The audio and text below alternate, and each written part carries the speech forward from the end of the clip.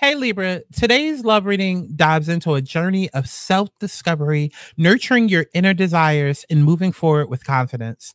If you're feeling the need to refocus in love, or maybe you're unsure of your next step, then this reading is going to provide some clarity. Let's get into it, girl.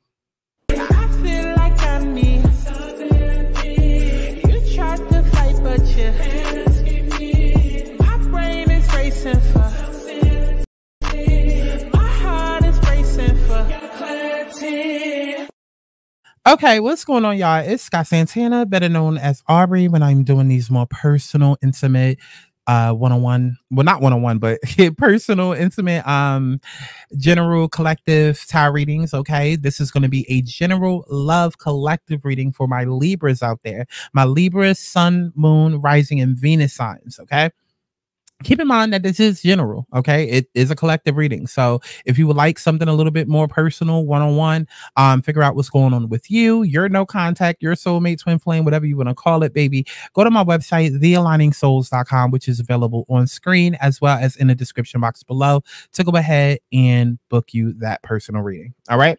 Now let's go ahead and get into this general reading now, overall theme that we have Libra is the Empress, okay, which is a great great great great place to be okay? Because the empress as the overall theme it sets a powerful nurturing energy around your love life. This speaks to growth it speaks to self-love and a need to connect with your inner desires.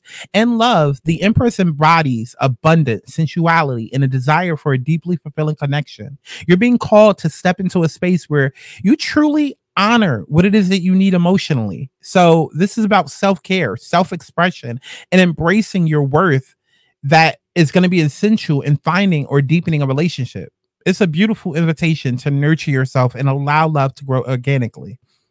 Now, the current situation that we're in is the Eight of Cups. Now, maybe you've left something behind. Okay. You could have le- recently left a relationship, recently left somebody who didn't deserve you, didn't love you right, didn't treat you right, didn't see, you know, the good in you, all of that.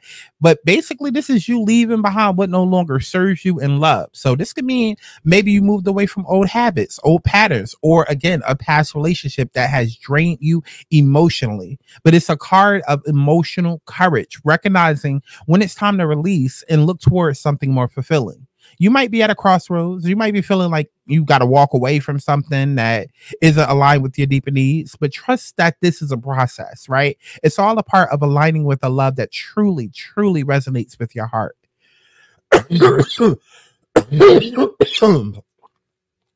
Child. Now, the challenge that we have here is the Queen of Cups. The Queen of Cups, right? As your challenge suggests a struggle with emotional vulnerability or nurturing your own emotional needs. This is all about compassion, intuition, and being in touch with your feelings. So you might be finding it hard to stay emotionally open, especially if past experiences have made you guarded. It could also indicate some sort of difficulty in balancing caring for other people while trying your hardest to care for yourself. So, Libra, the challenge here is to allow yourself to fully fulfill without losing sight of your own needs, right? Embracing emotional boundaries can be empowering, but giving you the space to protect your heart while staying open to love. So you want to take your focus and put it on the five of pentacles, right? You might be grappling with feelings of lack, of loneliness, or fear of rejection. And so this could highlight emotional or physical isolation that might be going on. Like you might be to yourself right now, or maybe just a little guarded as you know, as you should be, perhaps maybe due to past wounds or insecurities around love. And this urges you to confront these fears and recognize that you're not alone. There is support and love around you, even if it doesn't always feel that way. So focus on moving out of this scarcity mindset and love that you have. Let go of that fear of being left out or overlooked or like everybody else is going to have love except for you. Like, let that shit go. This process is what's going to help you build the confidence to go out there and create connections that are truly supportive and truly abundant for you. And so the advice that we have is the chariot, which is all about moving the fuck on. Okay, this is encouraging you to move forward with determination, with confidence. This is willpower, direction, taking control of your path and your destiny.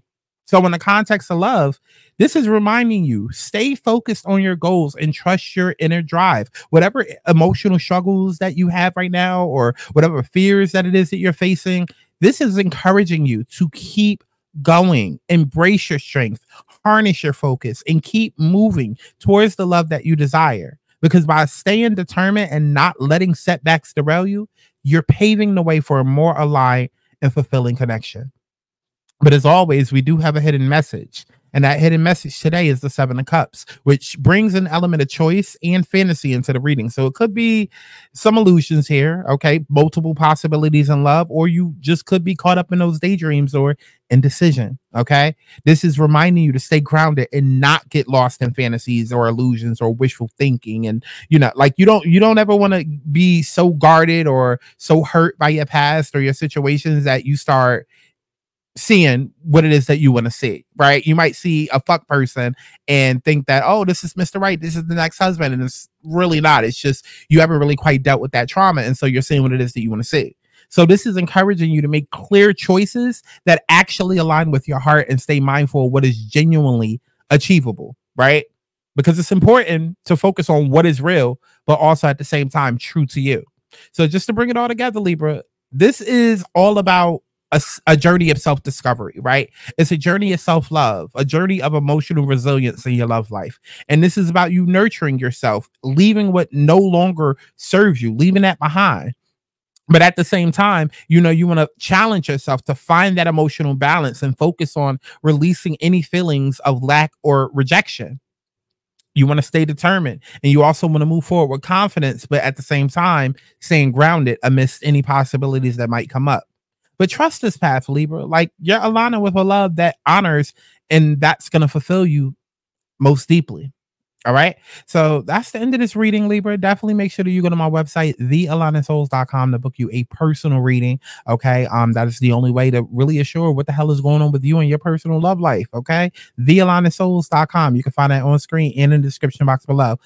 Get on your shit before shit gets on you. I'm just here to align you to your highest soul. All right. I'll see you in the next one. Bye bye.